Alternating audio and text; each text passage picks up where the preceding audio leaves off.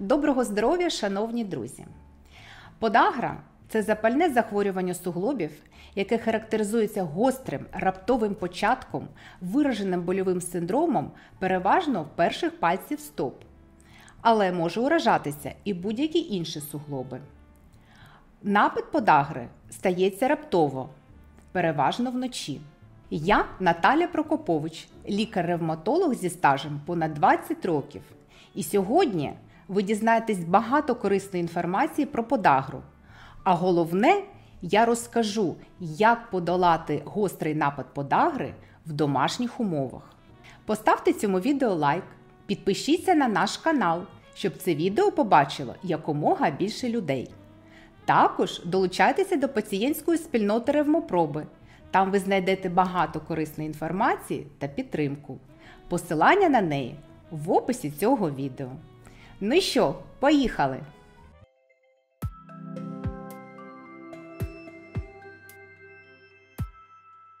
Тож почнемо з загальної інформації. Подагра це найрозповсюджений запальний артрит, який виникає внаслідок дисбалансу між потраплянням, переробкою та виведенням сечової кислоти з організму. Надлишок сечової кислоти відкладається в суглобах, в тканинах, у внутрішніх органах у вигляді кристалів монouрату натрію. Головними факторами ризику виникнення подагри є надлишкова вага та ожиріння, незбалансоване харчування, зловживання алкоголем та солодкими газованими напоями, менопаузальний період у жінок, чоловіча стать, генетична схильність. Слід зазначити, що подагра асоціюється з такими недугами, як артеріальна гіпертензія, інфаркт міокарду, інсульт, інсулінорезистентність, метаболічний синдром, хронічна ниркова недостатність. Тож, як же розпізнати хворобу? Недарма в перекладі з грецької подагра означає капкан для стоп. Тобто в процес включаються переважно великі суглоби стоп. Тут зауважу, що дуже часто помилково називають подагрою кісточку на нозі. Але це велика помилка. Бо кісточка на нозі це зовсім інша патологія, яка називається вальгусна деформація першого пальця стопи і являє собою захворювання, яке називається остеоартрит. Проте подагричний артрит в разі його нелікування може призводити до такої вальгусної деформації пальців стоп. Хоча при подагрі можуть залучатися в процес будь-які суглоби, як правило, це моноартрит, тобто в процес включається один суглоб. На дотик він гарячий, болючий, дотики до нього стають нестерпними, рухи в ньому майже неможливі. Для кожної людини напад подагри не проходить непоміченим.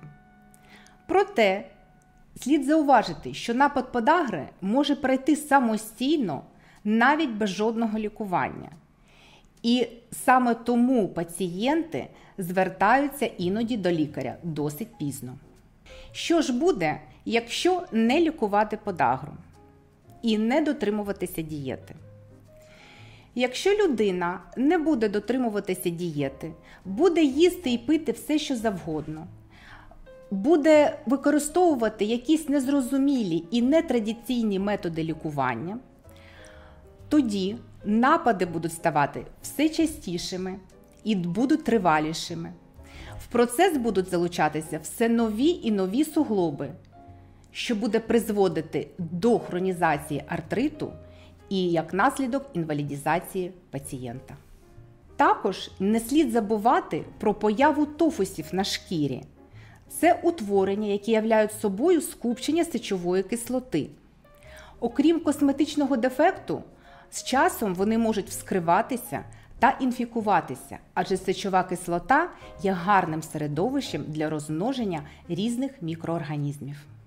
І, звісно, пам'ятаємо, що подагра асоціюється з такими недугами, як сечокам'яна хвороба з наступним розвитком хронічної ниркової недостатності, серцево-судинними хворобами, такими як інфаркт, інсульт, цукровим діабетом другого типу, інсулінорезистентністю. А ці хвороби призводять до інвалідізації і підвищеному ризику смертності. Тепер розглянемо таке питання: хто, чим і як довго лікує подагру. Подагру лікує або лікар-ревматолог, або сімейний лікар, який обізнаний в цій проблемі. Лікування подагри має два етапи. Перший етап це протизапальна терапія, а другий етап це урат-знижувальна терапія. В якості протизапальної терапії, як правило, використовують нестероїдні протизапальні препарати, глюкокортикоїди, колхіцин. Глюкокортикоїди можуть використовуватись як перорально, так і внутрішньом'язево, іноді внутрішньосуглобово. Урат-знижувальна терапія, як правило, призначається на тривалий термін, паралельно з урат-знижувальною терапією. В арсеналі лікаря на сьогоднішній день є два препарати з урадзнижувальним ефектом це алапуринол і фебуксостат. Ці препарати являють собою блокатори фермента, який перешкоджає перетворенню пуринів на сечову кислоту, і тим самим сечова кислота в організмі не виробляється. Скільки ж триває лікування подагри? Якщо подагра має хронічний перебіг, лікування, як правило, дуже тривале іноді навіть пожиттєве. В будь-якому разі слід пам'ятати, що вибір конкретного препарату, тривалість лікування, якісь супутні методи лікування визначає лікар індивідуально в залежності від характера хвороби у пацієнта, від його активності, від тривалості, від супутніх захворювань. Коли варто звертатись до лікаря? Я раджу до лікаря звертатись, як тільки виник напад. Якщо напад все ж таки минув, все одно треба звертатись до лікаря і не чекати напада наступного. Тож, як же стримують подагру дієтою? Відповідно до сучасних досліджень, дієта не має головного значення в лікуванні подагри. Основними методами є адекватно підібрана протизапальна та урадзнижувальна терапія. Проте дієта і супутні немедикаментозні засоби допоможуть пацієнту тримати рівень сечової кислоти на належному рівні і підтримувати якість життя. Окрім цього, слід зазначити, що навіть ті продукти, які раніше категорично були заборонені, зараз дозволені, але в дуже маленьких кількостях. Вважається, що такий підхід буде сприятиме комплаєнсу з пацієнтом, і більш пацієнти будуть прихильними до дотримання дієти. Що стосується характеру харчування при подагрі, то вкрай корисною буде саме середземноморська дієта.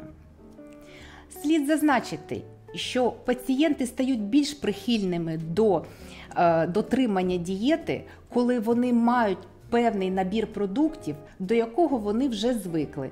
А ця дієта якраз дозволить вибрати те, що людина більше всього полюбляє. А тепер чудова новина для тих, хто любить каву. Адже доведено, що регулярне споживання кави сприяє зниженню рівня сечової кислоти. Який же механізм цього? Наразі остаточно це не доведено. Що стосується алкоголю, під час нападу заборонені будь-які спиртні напої.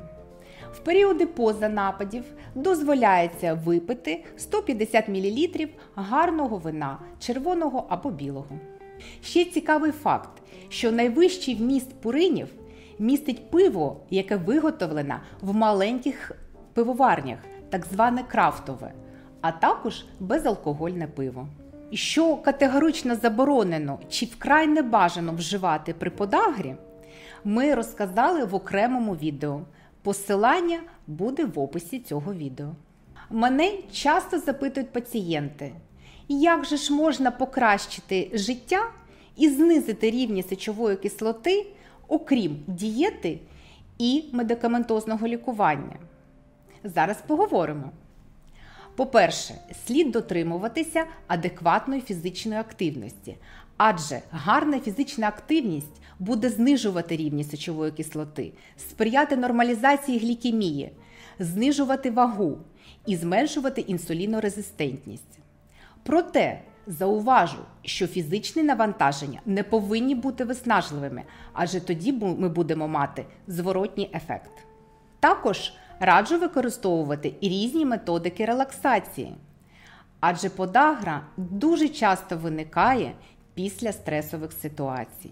Якщо ви маєте деформацію пальців стоп, обов'язково порадьте з ортопедом на рахунок спеціального взуття та ортопедичних устілок. За наявності тофусів, які вже вскрились, одразу звертайтесь до лікаря, адже вони можуть інфікуватись і спричинити дуже багато проблем. Також уважно відноситесь до новомодних бадів, адже вони можуть бути вкрай небезпечними, якщо ними зловживати. Також вживайте достатню кількість звичайної питної води. Приблизно до 2 літрів на добу, якщо немає протипоказань з боку серця і нирок.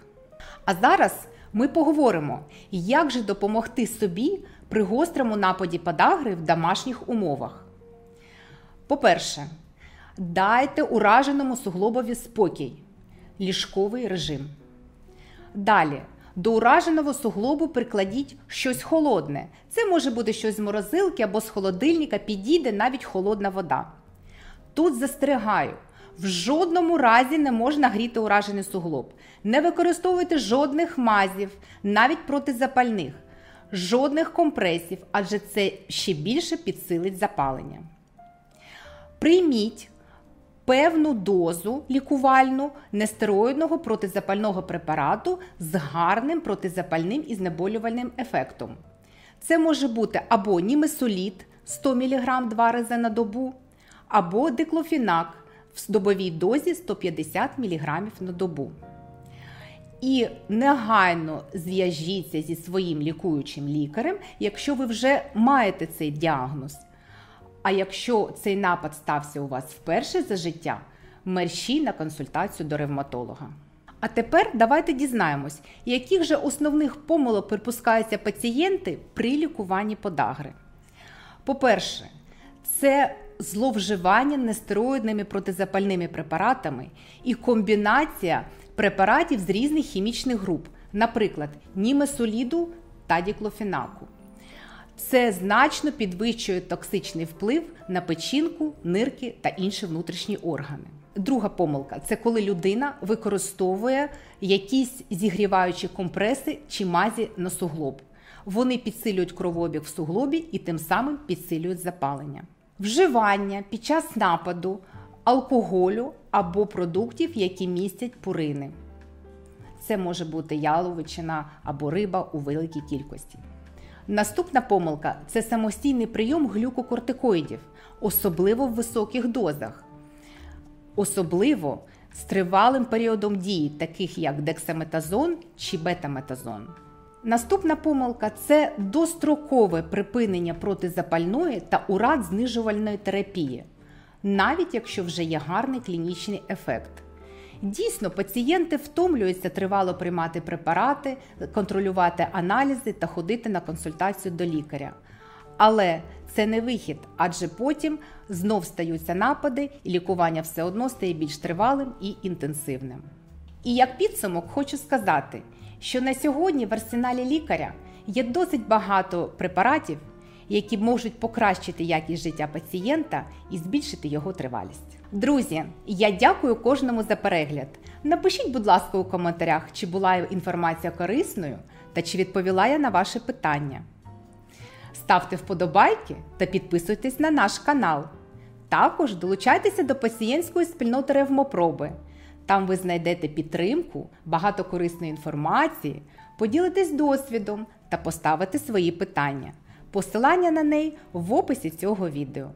Поділіться цим відео із тим, хто дійсно цього потребує. До нових зустрічей! Бережіть себе!